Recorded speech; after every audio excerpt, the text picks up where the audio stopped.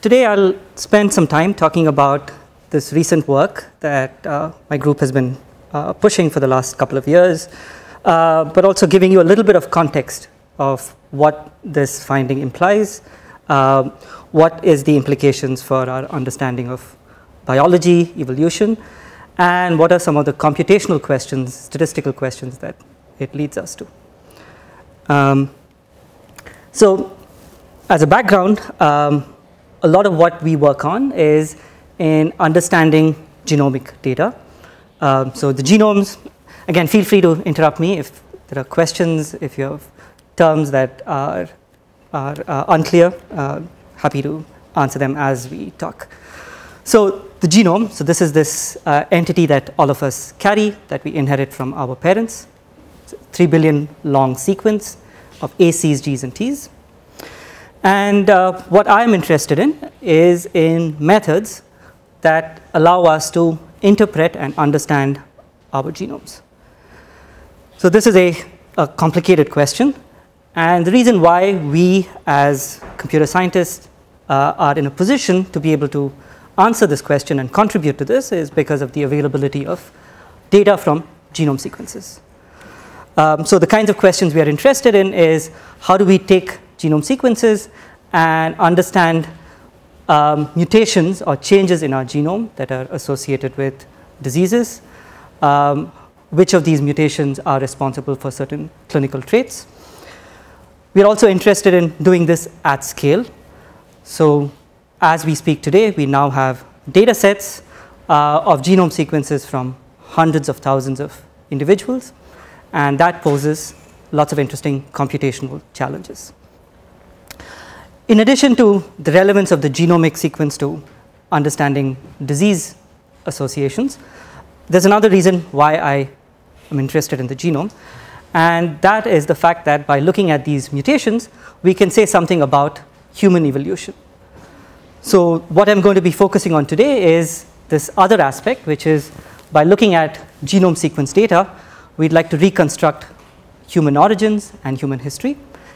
And it turns out that this kind of an understanding also has relevance to our understanding of disease biology. So to give you a little bit of a background about this field, it's been about 20 years since the human genome sequence, the first human genome was sequenced. And today we have lots of genome sequences from hundreds or now thousands of individuals. And by looking at these genome sequences, we are building a picture of how human populations are related. So the broad outline of this picture is that present day humans, so that's all of us, uh, we originated in Africa around um, 200,000 years ago. And then there was this migration out of Africa. And this migration was the founding of the populations outside of Africa today. So there was this small set of individuals that left Africa and these populations went in different paths and gave rise to the present day individuals outside of Africa. Uh, K is thousands of years ago, so hundreds of thousands of years ago. So that's kind of the broad picture. But now there are wrinkles in this broad story. So if you talk to people who are studying human evolution, anthropologists, archaeologists, what they say is what is surprising about this spread is that around this time, humans, modern humans, were not the only human-like creature around. So there were other populations, we call them archaic humans, who were also existing. This is based on the fossil record. And the most well-known of this are this population called the Neanderthals. So the Neanderthals, they appear in the fossil record around 300,000 years ago and they vanish around 30,000 years ago. And there is clear kind of overlap in space and time between when modern humans existed and when Neanderthals existed. And again, for those of you who haven't seen these fossils or skulls, this is a modern human skull, this is a Neanderthal skull. And there are all of these questions in evolution about why one population, the Neanderthals, went extinct, why did modern humans become so successful? What are the biological differences, if any? For example, there are conjectures that modern humans were successful because of language, because of abstract thinking that allowed them to organize or self organize. And so, all of these are interesting theories. And the reason why now we can begin to answer them is now we have data. So, we have now genome sequences from not just modern humans, but these archaic humans like the Neanderthals. So, this begins in 2010 when the first genome sequence from a Neanderthal was made available. So, this was a cave in Croatia from which this genome sequence was, was obtained. Actually, it was three of these bones, bones in the thigh. Each of this gave a little bit of DNA, and that allowed us to assemble the first Neanderthal genome sequence. It was a technical uh, achievement. Turns out, when you have a bone that lies in the ground for hundreds of thousands of years, there are all kinds of chemical changes that happen to the DNA.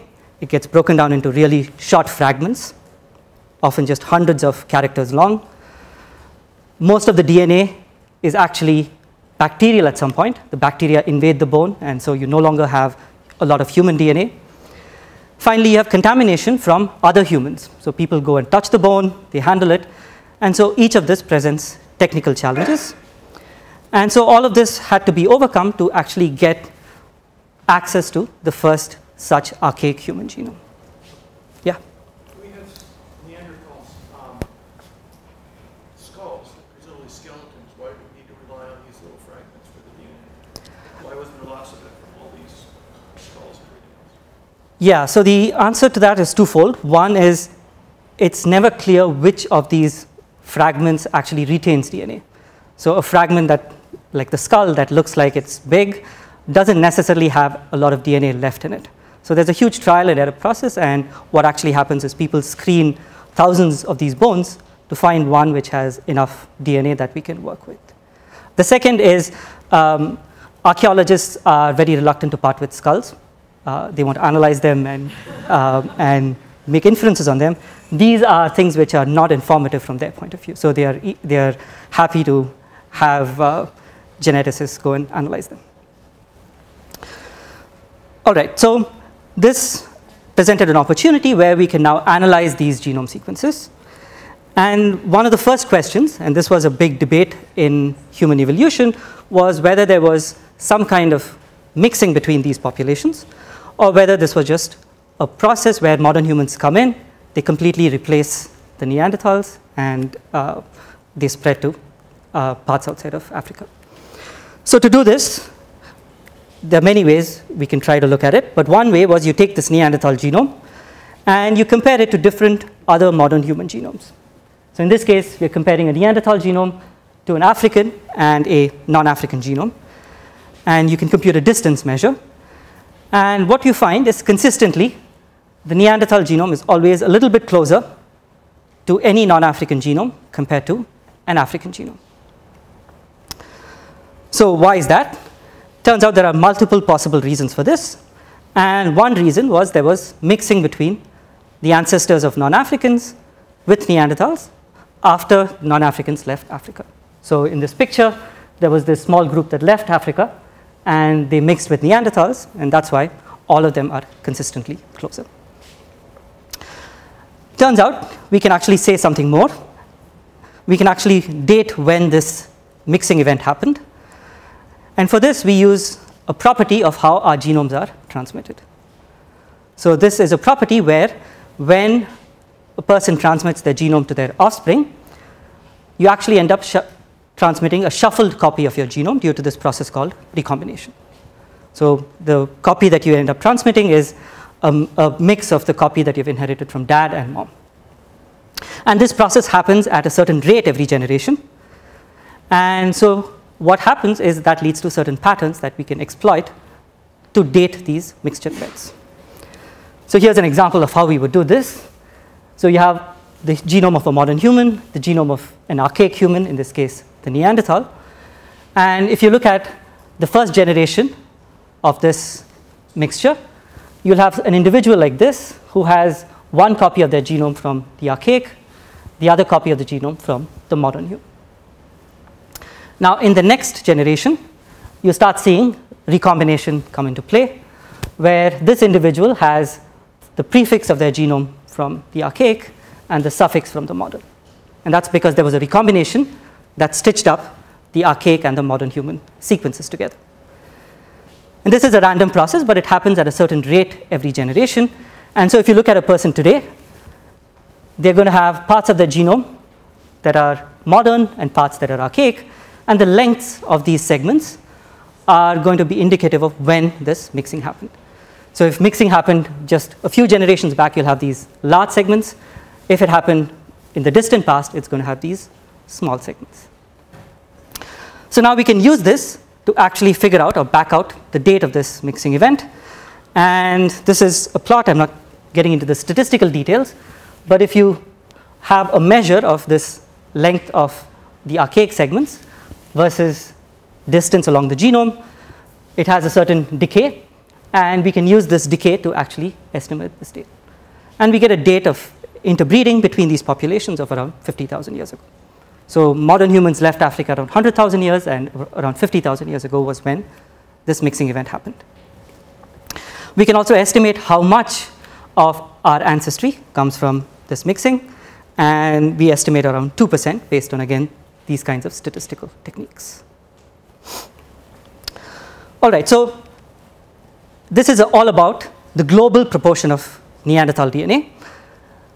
But one question that everybody was interested in is, could this have had some impact on biology? So it turns out that Neanderthal DNA is quite different from modern human DNA. It has mutations that are never seen in modern humans today. So is it possible that all of these mutations that came in because of this Neanderthal gene flow event could those have had some impact on human health?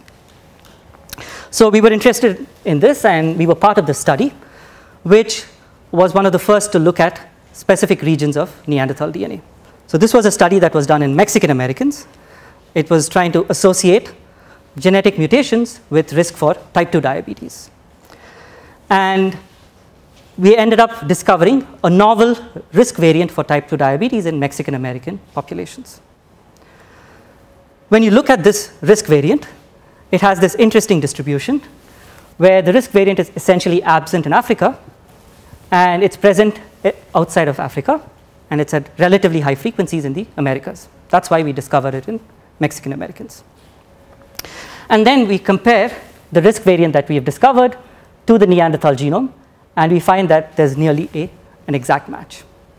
So this was one of the first examples of a variant that affects risk for a disease that could be tied to this kind of an admixture event. Since then, there were several other notable examples. Yeah.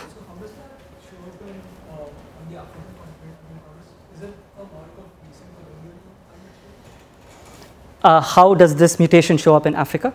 So is that if it's tied to Neanderthal populations, then uh, how does it show up in Africa? It does not show up in Africa. So what we are seeing here is, so the, the, this pie chart is telling you there are two possible variants here.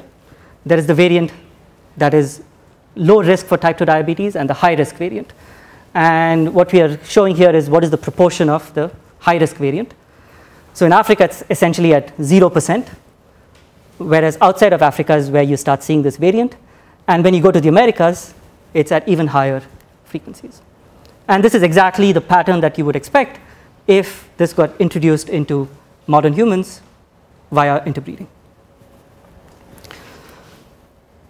Okay, so since then, there were many other examples which try to figure out at a given gene that I care about, say there's some gene that is interesting, is there evidence for this gene coming in through Neanderthal interbreeding?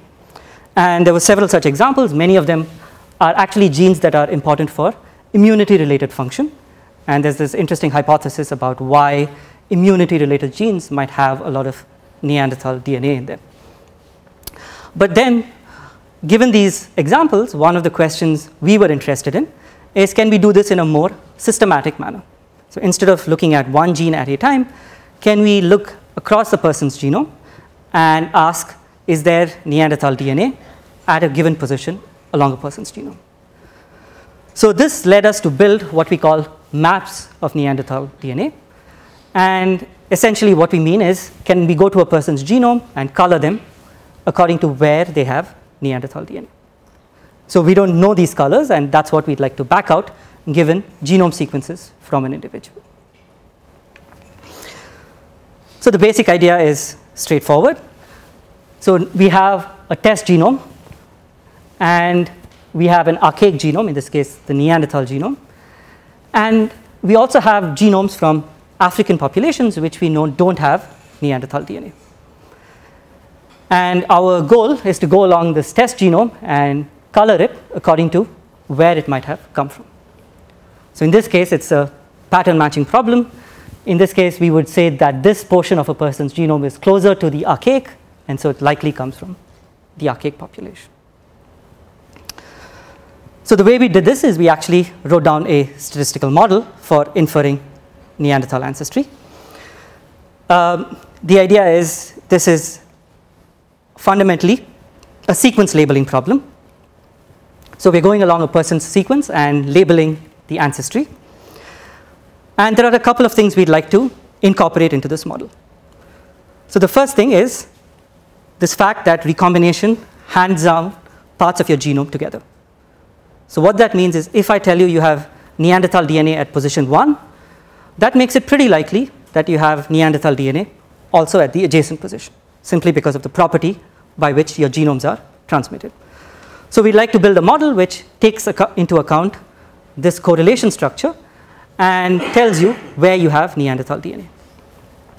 So the model uses data that looks like this. So you have, say, a European genome, and we have the Neanderthal, and we have African genomes. As I said, Africans are assumed not to have Neanderthal DNA. And we'd like to label this person's genome according to whether they have Neanderthal or modern human ancestry. So we are building a probabilistic model of this vector of zeros and ones. We call this the local ancestry vector, given all of this data. There are some technical challenges, and I won't say too much about it. One technical challenge is if you actually try to model this vector it turns out to be what we call a non-Markovian process, which means the probability of seeing Neanderthal DNA at position 2 depends on what you saw at position 1. The probability at position 3 depends on 1 and 2. At position 4 depends on 1, 2, and 3. And so you have this dependency that is extremely hard to capture. So the way we do this is we borrowed ideas from NLP and, and speech processing where these kinds of models called conditional random fields have been very successful in modeling these non-Markov or long-range dependencies. I won't say too much about the technical details, but essentially we are trying to predict the joint probability of the ancestry vector. So Z1 through Z4 are the ancestry vectors, and so we are trying to model the probability of this ancestry vector given all of the data that we've observed. And the way you do this, one way to do this, is we write down certain functions or statistics that couple each of these ancestry labels to data. And then we have functions that couple the ancestry labels at adjacent positions to each other. And this model has certain parameters, and so we have to optimize over these parameters to get good prediction. So to give you an example of the kinds of features that would go into this model, here is one example. So this is a feature that looks at one position at the mutation patterns at that position. So here you have a mutation in the non-African that is also present in the Neanderthal. And this mutation is completely absent in the Africans. This is exactly the pattern that we also saw in the type 2 diabetes example. So this by itself is very weak evidence. On the other hand, if you now saw many of these mutations next to each other, then you accumulate additional evidence that this is actually Neanderthal DNA. So we built this model, we trained the parameters, and the result is we can now compute maps of Neanderthal ancestry. So here is an example where you apply it to individuals from the Thousand Genomes Project. It's a big database of uh, publicly available genome sequences. So this is a European individual's genome, a Chinese individual's genome, and an African individual's genome. And what you see is clearly there are many places where the model is confident of Neanderthal DNA in the non-African genomes and relatively few such positions in the African genomes.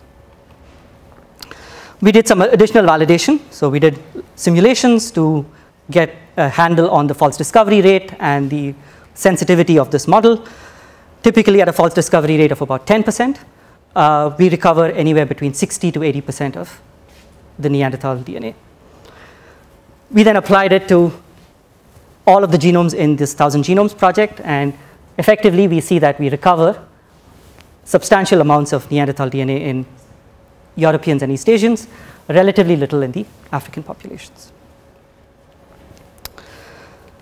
So after this, we looked at other data sets. So people had been get, getting genome sequences from across the world. So this was a, a data set of about 200 genomes from about 100 different populations across the world. And we could compute the distribution of Neanderthal DNA across all of these individuals. And what we see based on these methods is, again, substantial Neanderthal DNA outside of Africa, but we also see variation across different populations. And now there's a lot of hypotheses that is trying to explain this variation.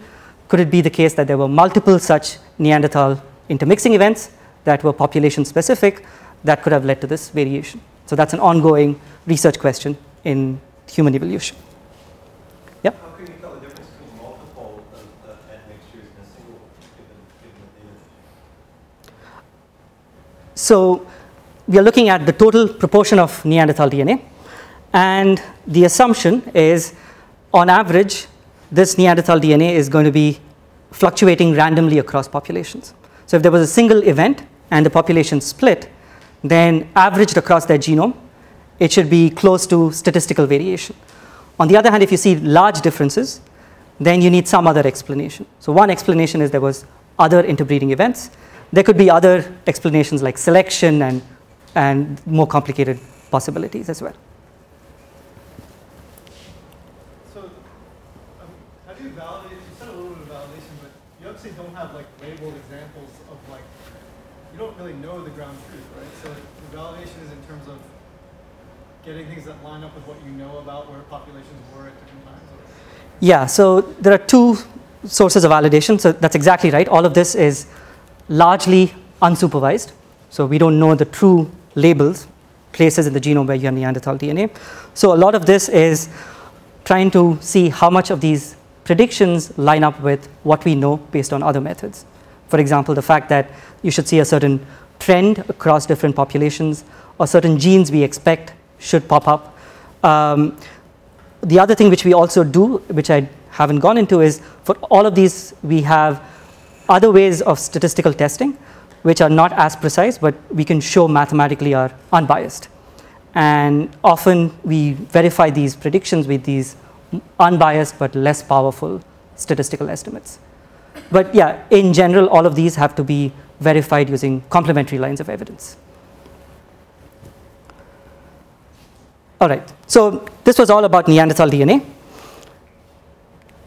Around this time, or actually several years back, there was another major finding in this field. So this is a cave in Siberia. It's in a place called Denisova Cave.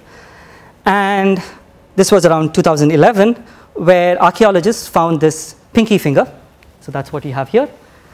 Um, and again, they decided to test it for DNA. So there was initial hypotheses about what could this be. Possibly this could be human, this could be Neanderthal. Those were the two obvious candidates. But it turned out it was neither human, modern human, nor Neanderthal. So it was this new population called the Denisovans. So the Denisovans are this population which is actually a sister group of the Neanderthal. So if you build a tree, you have a split between modern humans and this branch. This branch then splits into the, Denisovans and Neanderthals. So this arrow here is this interbreeding between Neanderthals and non-African ancestors. Now again we can ask the question, this new population, how does it relate to other modern human groups? Turns out, again there has been interbreeding between Denisovans and other modern human populations, specifically populations lying in Oceania. So this is populations that lie in islands of Australia, are populations which have over 3 to 6% of Denisovan DNA. So these populations both have Neanderthal and they have Denisovan DNA. And it's quite interesting because this was one of the first discoveries that came entirely from genetics. So previously, Neanderthals, we had fossil record, we could say this is what we expect. This was particularly surprising because this was entirely made based on the spinky finger. There was no evidence that this was unusual. And genetics was saying that this was something quite different. We can extend these kinds of methods to the study of Denisovan DNA in human populations. And here again, we see that we find substantial Denisovan DNA. These are the populations in Oceania and Australia who have substantial Denisovan DNA. Turns out there are also populations in East Asia, particularly Tibetan populations, have quite a bit of Denisovan DNA. So everything I've talked about is now building these maps. We can do more than just look at how much of the person's genome has Neanderthal or Denisovan DNA. So now that we have a map, we can actually ask, along a person's genome, how is this DNA distributed? So this leads us to looking at fine scale maps of archaic DNA. So here, what I've done is we've arranged the 22 chromosomes and the sex chromosome in the circle. And we're going along every position, and we're counting up at a given position how many people in this database have Neanderthal or Denisovan DNA. So if you see a line that's telling you that's a place where large numbers of individuals carry Neanderthal or Denisovan DNA. So now by looking at this map, one of the things that was interesting is there's a fairly non-random distribution of this archaic DNA.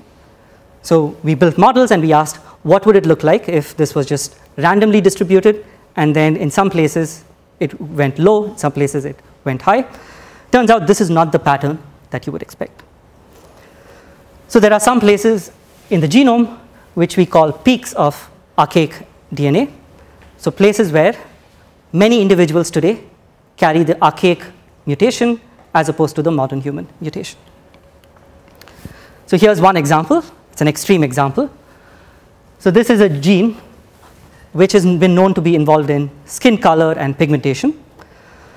And this is a gene where more than half of Europeans today carry the Neanderthal version. So around 50,000 years ago, there were 2% Neanderthals, so 2% of the population would have carried this gene. Today, it's more than half. Again, we can ask, is this random or is this expected? And it turns out a process by which the gene is moving up or down in frequency randomly, so we call that neutral evolution, cannot explain this observation. And so what we, we are convinced is this is a gene where it has risen up in frequency because of some positive impact. So we think that this must have been adaptive for the modern human population. So here's another example. So this is a gene called EPAS1. So this is a gene where the mutations are known to be extremely important for tolerating to low oxygen environments. So this is a gene where there's a mutation that is found to be at very high frequency in populations that live at high altitude environments like the Tibetans. And if you examine what this mutation is that confers high altitude adaptation, turns out that this is a mutation that was inherited from the Denisovan population. So what we find is there are peaks of these archaic DNA, and at least some of them have a clear measurable effect on ability of human populations to survive in different environments. On the other hand, there are other places in the genome which are devoid of archaic DNA. We call them deserts of archaic ancestry. So here there are places where, as far as we can tell, no human, modern human individual carries the archaic version of the gene. Some of them, again, have an interesting um, underlying biology. So here is an example where this is a position on chromosome 7, which is a desert for archaic DNA, both Neanderthal and Denisovan DNA. And it turns out it's about 10 megabases long, so it's a pretty large chunk of the genome. And this is a desert that overlaps a gene called FOXP2. And the reason why this is interesting is this FOXP2 gene is known to be an important gene for speech and language. So the hypothesis is, this is a hypothesis, is that these are places where there is a human mutation and there is the archaic mutation. And the archaic mutation is less fit or it's deleterious compared to the human mutation. And that is the reason why the archaic mutation was removed quickly after it came into the human gene pool. That's just a hypothesis, and there are several groups that are actually actively testing this. And this is another quantitative way of seeing this.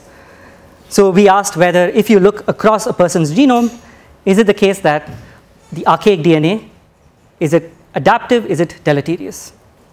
And so what we did is we looked at how much archaic DNA is present in a person's genome across different parts of the genome, binned by what we call selective constraint. So selective constraint means here are places in the genome which are highly selective, highly functionally constrained, known to be important based on biology. Here are places in the genome which have low constraint. Based on biology, we think they're not necessarily important. And what we find is both the Neanderthal and the Denisovan DNA tends to get lower as you go to regions which are under stronger constraint. So the picture that's coming from looking at these maps is on the whole, the archaic DNA was deleterious, not necessarily good for us. And that is why it has been removed in parts of the genome which are selectively important. But that's not the full story. There are other places in the genome where it has actually risen up in frequency. And that's possibly because these were adaptively beneficial. So where we are right now is now we are building maps. We have these statistical methods that are pulling out these, uh, these regions of archaic DNA. And a major challenge now is to try to see what biological impact this has had. All right. So everything we have said so far, everything we have discussed is about these populations, populations outside of Africa. The real reason that we've only focused on these populations outside of Africa is because of the fact that we had these archaic genomes to begin with. So the fact that we had this Neanderthal genome and this Denisovan genome allowed us to ask questions about out of Africa populations. So now the question is, what about populations within Africa? Turns out we don't know much. There's a lot of evidence from the fossil record in Africa that there were archaic populations in Africa as well. However, we haven't been very successful in getting ancient DNA out of these fossils. So, largely due to environmental conditions, it's really challenging to get ancient DNA within Africa. So, while we now know quite a bit about archaic DNA outside of Africa, within Africa, knowledge is fairly limited. So, this was what we decided to look at more closely. So the goal is, can we say something about archaic ancestry, archaic DNA within Africa, even if we don't have these archaic genomes to begin with? So again, the challenge here is we don't have label data. So every time we have a method, we have to worry carefully about the biases inherent in this method. So to try to get at this question, we actually had two complementary approaches. And I'll talk a little bit about both of them. So the first approach uses some theory from mathematical population genetics. So this is the study of how populations evolve and what we expect to see in genome sequences if populations are evolving in a certain manner. And so the first line of evidence is going to come from the field of mathematical population genetics. And the second one is something where we are going back to our statistical approaches and we're going to devise a method that can pull up these segments of archaic DNA, but do so without needing an archaic genome. So we're going to develop reference-free methods for building these maps of introgression. So let's start with the first one. So we're going to start with this mathematical object. It's called the site frequency spectrum. So the site frequency spectrum basically is looking at the genomes of a bunch of individuals and building a histogram based on how frequently a mutation occurs. So the idea is simple. So you have genome sequences, let's say from Africa in this setting. Every line here is an individual, every column here is a position. We go along each position, and we're going to ask how frequent is a mutation at that position. So in this setting, you might have a mutation occurring in three out of five individuals. Another mutation might occur in, in all individuals and so forth. So now we can tabulate it and we can build a histogram of the number of mutations that occur at a certain frequency. Turns out this summary of the data, called the site frequency spectrum, is extremely informative about how this population evolved. For example, if this population just evolved by itself, the site frequency spectrum has a certain pattern to it. On the other hand, if there was introgression into this population, it has another pattern to it. So potentially, we might be able to use this histogram to say something about how these populations have evolved. The challenge is the site frequency by itself has too much information. So it not only de is determined by the history of this population, it is also determined by other processes that we have less information on. For example, mutation rates, selection, and so forth. So we want to have a summary of the data, which is informative about introgression and is robust to everything that we don't care about. So to do this, we came up with a different summary, which we call it the conditional site frequency spectrum. So what this summary of the data is doing is it's only looking at positions where when we compare the Neanderthal genome to the chimpanzee genome, which is the genome of the ancestor, the Neanderthal and the chimpanzee genome are differing in what base they carry. So now we're going to build a histogram exclusively based on those positions where the Neanderthal and the chimpanzee genome differ. This we call the conditional site frequency spectrum. Now, why is this an interesting summary of the data? So this relies on some population genetic theory. So let's say the true history of our population was something like this. You had an ancestral population. At some point, it split into two. One was the ancestors of the Africans, the other was the ancestors of the Neanderthals. Now, if you compute this conditional site frequency spectrum, we expect it to look uniformly distributed. The reason for this, and we can show mathematically why that's the case. So it turns out the mathematical reason for this is at the ancestral population. So this again has a lot of population genetic theory for why that's the case. This site frequency spectrum, which tells you what fraction of your mutations have a certain frequency x, it has a form that looks like 1 over x. So in other words, the site frequency spectrum says if you have a mutation that's going to be present in one individual, that will be present twice as frequently as a mutation that's present in two individuals, three times as frequently as a mutation in three individuals, and so forth. So this is a well-known model in population genetics. Now we're going to look at the conditional site frequency spectrum. So what is the conditional site frequency spectrum? We are only restricting to those mutations where the Neanderthal carries the mutation. So the Neanderthal is what we call derived compared to the chimpanzee.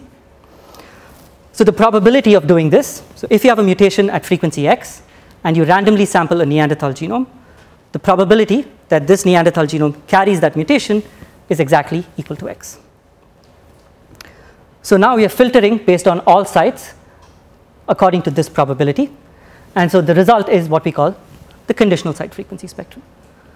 So the at a frequency x, you have 1 over x fraction of sites, and the probability of picking a site is x. So the conditional site frequency spectrum is uniform. So this is theory. Now what do we see in the data? So in the data, so this is data from an African population, a West African population in the Thousand Genomes Project. So if you now compute the same entity, you get something that's quite far from uniform. So there's a mismatch between what theory predicts and what the data shows us. So what might explain this? Oh, and before this, we looked at other West African populations, not just the Yoruba, and all of them show this characteristic U-shaped pattern. Of course, there's possibilities of technical artifacts. So there are errors of all possible kinds, errors in the genome that we are looking at, errors in the archaic genome, errors in how we identify these different mutations. So we asked whether some of these could explain this pattern.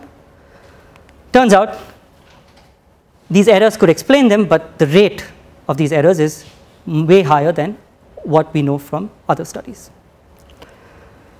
Turns out there are other biological processes that might also explain them, and I won't get into the details. And so to verify this, we did simulations under these models of biological processes.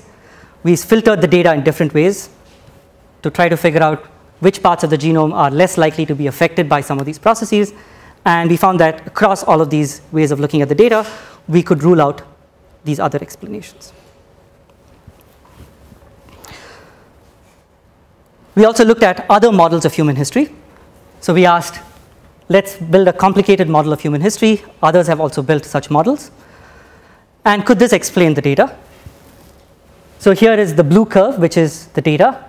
The orange is what we see based on these models of history that we have. And you see that maybe it fits a little bit here on the left, but it doesn't explain all of this spectrum.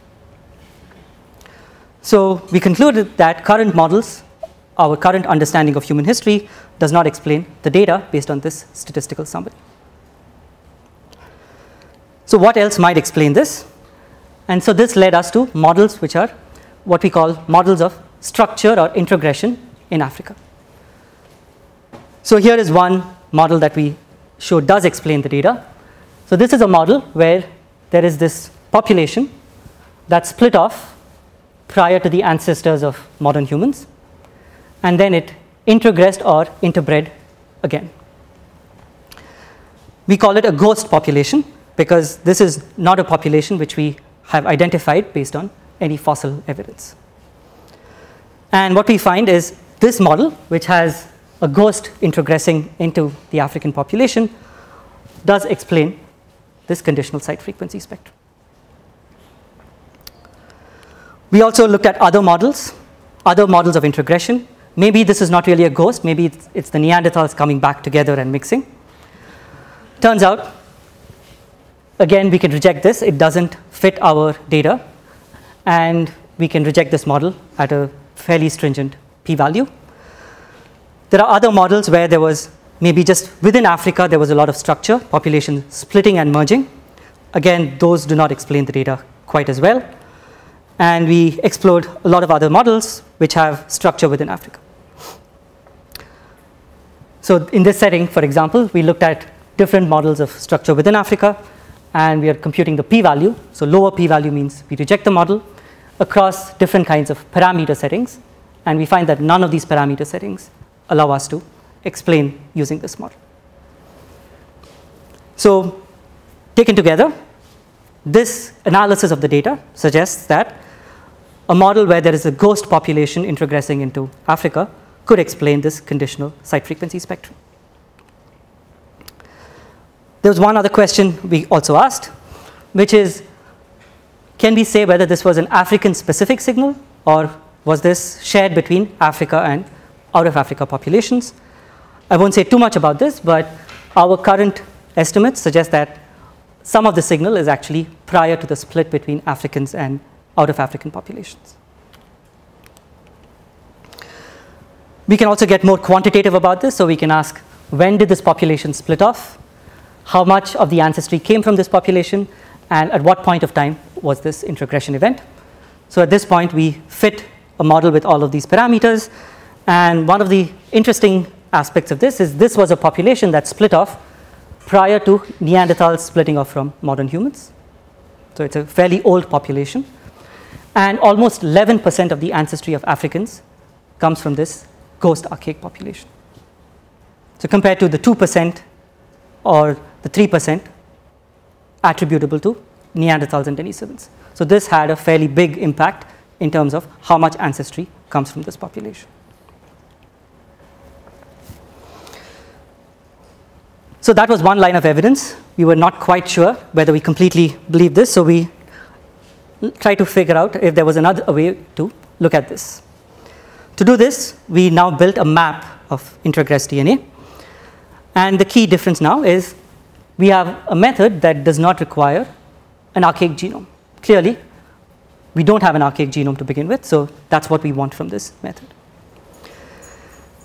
So the underlying idea behind this reference-free method for archaic DNA is if you have enough modern human individuals, so if you look at a collection of modern human genomes, simply by looking at the patterns of variation within those modern human individuals, there is enough information to pull out these introgressed segments.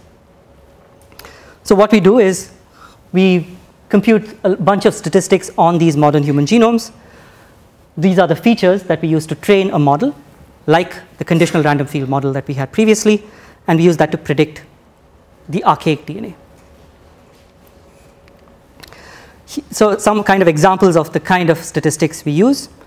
For example, if you have a target genome, so this is a genome in Africa, and this individual has archaic DNA at this position, then what you expect is a number of mutations will fall on this person's genome that are going to be exclusive to this individual. Because this is archaic, most of these mutations are not going to be seen in other individuals. So seeing a signal like this might increase our odds that this is an archaic segment. Similarly, if you take this target genome in Africa and you compare it to another genome sequence, if this was actually archaic, then the distance to all the other genomes is going to be much bigger than if this actually came from a modern human population. So again, you can build a collection of features and use a statistical model to be able to figure out which of these features are informative for making predictions of archaic DNA. Before applying it to the African setting, we had a positive control here, which is the Neanderthal introgression that we've already identified. So now we apply this method first to the Neanderthal setting. And here we compare the prediction from the reference-free method to the predictions from the reference-based method that we had previously. And by and large, we see concordant predictions. For example, as we look at the probability that this method assigns to whether a segment is archaic or not, now we can ask how likely is that segment to match the Neanderthal genome, which we know is what we expect this segment to come from. And so as the threshold of the probability increases, you're more likely to match the Neanderthal DNA than if you are labeled to be not Neanderthal. Similarly, this was the gene that I identified earlier as having high proportion of Neanderthal DNA, identified using the reference-based method. The reference-free method also identifies this as an introgressed DNA segment. Again, a lot of the other features also line up, so this makes us confident that this method actually can pull out introgressed DNA. So then we applied it to Africa. So applying it to the West African population, one of the populations, this is the Yoruba, we find that at a false discovery rate, so in this case of 20%, about 8% of the genome is identified to be archaic according to this method. So this is concordant with some of those other estimates that we got from the conditional site frequency spectrum analysis.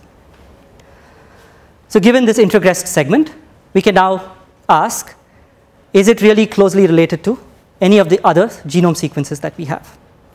For example, maybe this came from some other modern human genome. We've misidentified it as archaic. So we have genome sequences from other populations that are distantly related to African populations. We can also compare it to the known archaic genomes like the Neanderthals and the Denisovans. And so what you see here is a measure of the distance of these introgressed segments. So we're comparing the introgressed segment to the non-introgressed segments according to our method. And we find that for all of these, the segments that we label as archaic are not particularly closely related to any of these populations. Again, this is exactly what you would expect if this was a, a ghost or an unknown archaic population. All right, so those are the two lines of evidence. And so what that leads us to conclude is present day Africans trace quite a bit of their ancestry to this unknown population. This population split off quite far back in the past.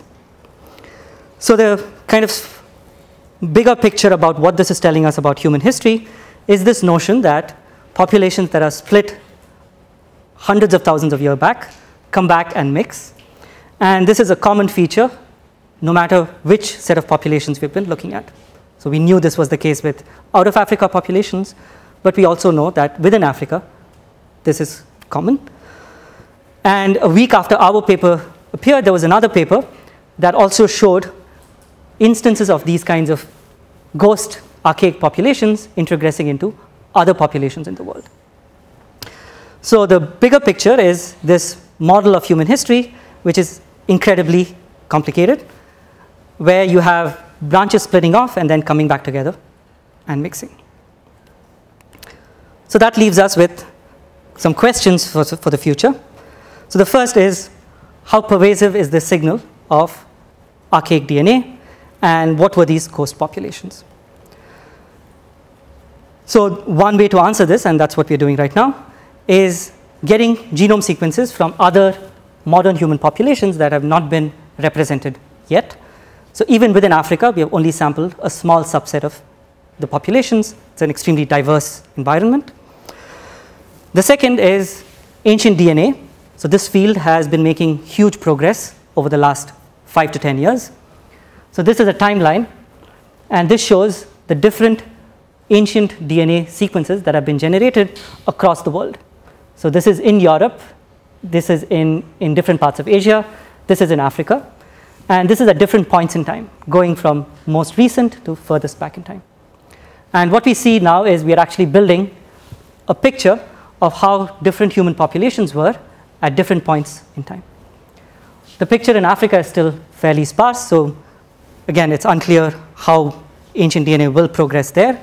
But my guess is, in parallel to the advances in populations outside of Africa, we will soon start having ancient DNA from populations within Africa. So once you have those kinds of genome sequences, we might be in a position to be able to identify what these ghost populations might have been.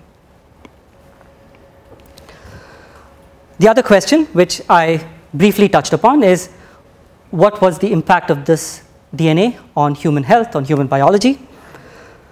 So, this is where there is a confluence between these kinds of evolutionary studies and studies that have been undertaken with the purpose of studying health and human disease.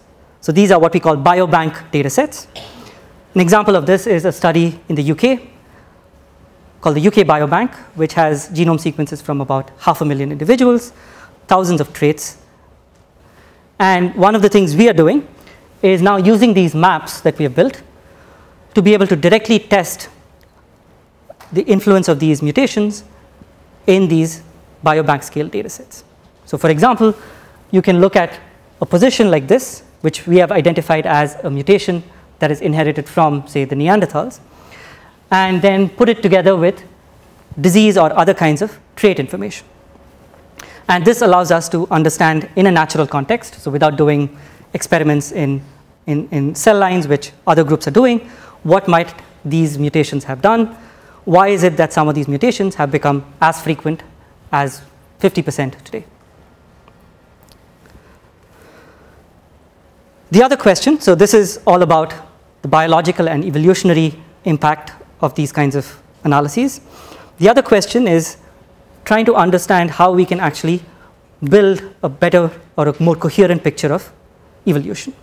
So what I've talked about today is humans, but it turns out that this picture is actually common across different species. So people have looked at primates, people have looked at mice, butterflies, and as you get genome sequences and you try to build the history of these populations, you soon run into a messy looking graph. So this is a computational problem and a challenge. So far, as a field, we have been fairly good at building trees. So given genome sequences, there's a whole field of phylogenetics, which is about inferring trees from these sequences. Turns out it's a challenging problem, but we do have relatively good tools. We know what methods work, how much data is needed for these methods to work, and so forth. Once you start looking at these graphs, we are essentially lacking any good theory. So we don't know how do we make inferences. Starting from all of these genomes, how do we actually build these in some systematic manner? What methods work? How much data we need for this? And just to give you a hint of the kinds of things we are working on, so the kinds of methods that we are working on are based on this notion of invariance. So the idea is we looked at the African setting and we said there is this statistic, this conditional site frequency spectrum, this strange looking statistic that has some nice properties. It is flat when there was no introgression and it has this U-shaped when there is introgression. But we had to think through this really hard to come up with that argument. So now the question is, can we have a method that identifies this statistic automatically for us? So given some picture, given some model of human evolution, can we build these statistics in an automated manner? So we call these statistics invariants. The reason they are invariants is it's some function of the data which has a certain value under a given topology of evolution, and it has a different value when this topology changes. Turns out that these are actually a very powerful technique for studying evolution. Interesting point, uh, some of the first work, so this is not a new idea, there's been some really old work. So some of the first work is actually from James Lake, a professor here in UCLA. Um, but again, a lot of that needs to be adapted to the data and the kinds of problems that we are dealing with. All right, so with that, I'd like to acknowledge everyone. So the, the student who, who worked on the African integration, an extremely talented student, Arun. Um, and this was, of course, work across many different institutes, across many different disciplines. I'd like to thank all the collaborators and funding agencies. Thank you.